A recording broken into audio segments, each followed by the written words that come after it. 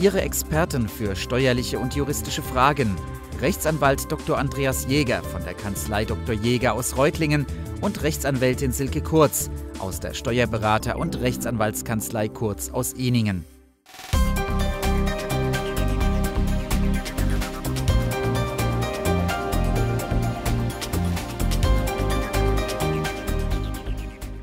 Ein wunderschönen guten Abend, meine Damen und Herren, liebe Zuschauer. Herzlich willkommen zu Forum Recht. Klar, wir alle haben eine vage Ahnung, wie man im Auto telefonieren darf, wann nicht. Aber wann darf ich das Handy in der Hand haben, wann, wann besser nicht? Äh, das wissen wir nicht so genau. Deswegen sprechen wir heute im Rahmen des Themas Handy im Straßenverkehr, ungeahnte Folgen mit Herrn Rechtsanwalt Christoph Mayer drüber. Herzlich willkommen.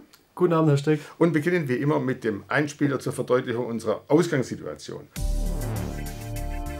Hugo H. ist selbstständig und geschäftlich viel mit seinem Auto unterwegs. Die Zeit, die er im Auto verbringt, nutzt er, um Gespräche mit Kunden zu führen. Im vergangenen Jahr ist Hugo H. bereits dreimal von der Polizei erwischt worden, wie er mit seinem Handy am Ohr telefoniert hat. Zwischenzeitlich hat Hugo H. sein Fahrzeug mit einer Freisprechanlage ausgerüstet, um weiteren Bußgeldern zu entgehen. Während Hugo H. in der Innenstadt an einer roten Ampel steht und ein wichtiges Telefonat führt, erhält er über sein Handy eine SMS. Sein Fahrzeug ist mit einer Start-Stopp-Automatik ausgestattet und der Motor ist ausgeschaltet, solange er an der Ampel steht. Als er die Nachricht sieht, nimmt er sein Handy kurz auf, bemerkt jedoch im Augenwinkel das neben ihm stehende Polizeiauto. Erschrocken legt er das Handy beiseite. Die Ampel schaltet auf grün und Hugo H. nimmt den Fuß von der Bremse, woraufhin der Motor startet. Wie es kommen musste, wird er sogleich von den Polizeibeamten angehalten und mit dem Vorwurf konfrontiert, er habe sein Handy unerlaubt benutzt. Die Post von der Bußgeldbehörde überrascht ihn, gegen ihn wird ein Bußgeld verhängt, ein Punkt im Fahreignungsregister eingetragen und ein Fahrverbot von einem Monat angeordnet. Herr Mayer, was ist in einer solchen Situation zu raten? Naja, zunächst ist es mal wichtig, die Rechtsmittelfrist zu wahren. Gegen Bußgeldbescheid kann man innerhalb von zwei Wochen nach Zugang Einspruch einlegen. Ansonsten wird der Bußgeldbescheid rechtskräftig, dann kann man sich in der Regel nicht mehr dagegen wehren. Und das ist zunächst der erste wichtige Schritt. Hat unser Protagonist überhaupt eine Chance? Denn er weiß doch ganz genau, dass man das Handy während des Autofahrens nicht benutzen darf.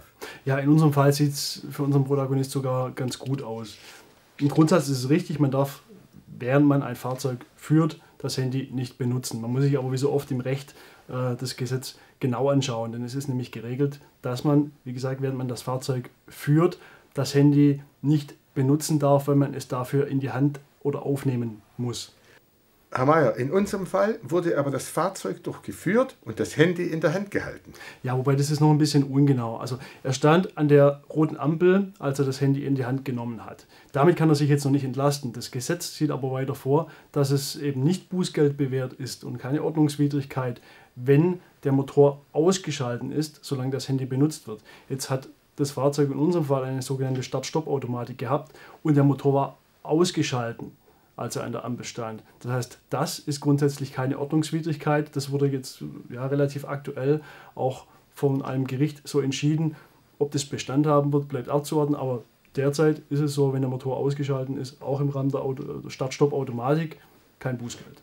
Das heißt, kann sich unser Protagonist also damit herausreden, dass er das Handy nur benutzt hat, solange der Motor abgeschaltet war? Ja, also er muss jetzt im Bußgeldverfahren oder auch später im Gerichtsverfahren dann darlegen, dass sein Fahrzeug eben über eine solche Start-Stopp-Automatik verfügt und dann wird ihm im Zweifel ein Verstoß nicht nachweisbar sein, außer die Polizeibeamten könnten bezeugen, dass der Motor gelaufen ist, als er das Handy in der Hand hatte. Reicht es für einen Verstoß aus, wenn man das Handy nur in der Hand hat? Nun, grundsätzlich ist es nicht ausreichend, wenn man das Handy nur in der Hand hat. Man muss es, so sieht es das Gesetz vor, man muss das Handy benutzen. Wobei die Rechtsprechung ist da sehr, äh, äh, ja, sehr umfassend dazu. Das heißt, dieses Benutzen wird sehr weit gefasst. Darunter fällt nicht nur das Telefonieren oder das übliche SMS-Schreiben, sondern es fällt auch darunter das Ablesen der Uhrzeit, das Versenden einer Textnachricht oder die Benutzung des Handys als Diktiergerät. Das alles ist verboten, wenn man das Handy dafür in die Hand nehmen muss. Heißt, wenn man das Handy nicht in der Hand hält, bekommt man auch keine Probleme. Grundsätzlich ja, aber in der Praxis ist es oft zu einfach. Es ist natürlich prinzipiell erlaubt, dass man das Handy, wenn man es nicht benutzt, in der Hand hält und beispielsweise einfach nur von A nach B liegt. Aber man wird in der Praxis Schwierigkeiten haben, einem Richter plausibel zu machen, dass man das Handy tatsächlich nur von A nach B gelegt hat, wenn man dafür keine plausible Erklärung hat und es nicht benutzt hat. Und sobald man es von A nach B legt und beispielsweise noch die Uhrzeit abliest, ist es wieder wiederum eine Ordnungswidrigkeit. Nur andererseits gibt es auch eine aktuelle Entscheidung vom Oberlandesgericht Hamm, das ausgeführt hat, dass es keinen Verstoß darstellen würde, wenn das Handy jetzt als Wärmeakku äh, an ein schmerzendes Ohr gehalten wird. Aber das ist natürlich im Zweifel eher äh, so zu verstehen, als dass jemand Ausflucht, eine Ausfluchtsmöglichkeit sucht und äh, das dem Richter glaubhaft zu machen, ist eher schwierig. Im konkreten Fall haben die Richter es nicht geglaubt. Mit welchen Folgen müsste man bei einem Verstoß rechnen?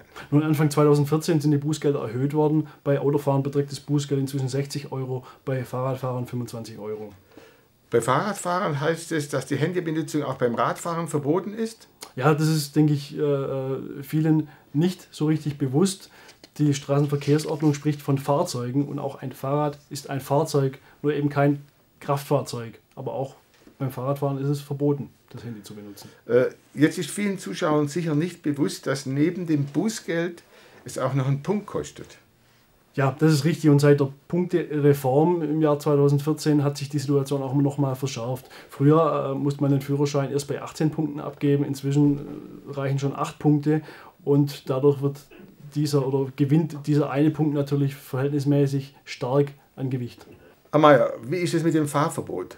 Kann ich tatsächlich wegen eines so geringen Verstoßes ein Fahrverbot kriegen? Ja, also grundsätzlich ist der Verstoß für sich genommen natürlich relativ gering, aber letztlich macht es die Summe. Das heißt, äh, wenn jemand schon in der letzten Zeit mehrmals wegen dem gleichen Verstoß auffällig geworden ist und Bußgeld bekommen hat, ähm, dann kann die Bußgeldbehörde ein Fahrverbot verhängen, weil man dann eben sagt, äh, es ist ein beharrlicher Pflichtenverstoß und der Autofahrer lässt sich durch ein Bußgeld nicht mehr zu einem ordnungsgemäßen Verhalten äh, bewegen und es, die Bußgeldbehörde sagt dann, jetzt ist ein Fahrverbot erforderlich. Das heißt, für unseren Protagonisten würde relativ viel auf dem Spiel stehen, aber wie gesagt, die Chancen sind gut, dass er erfolgreich gegen den Bußgeldbescheid vorgehen kann.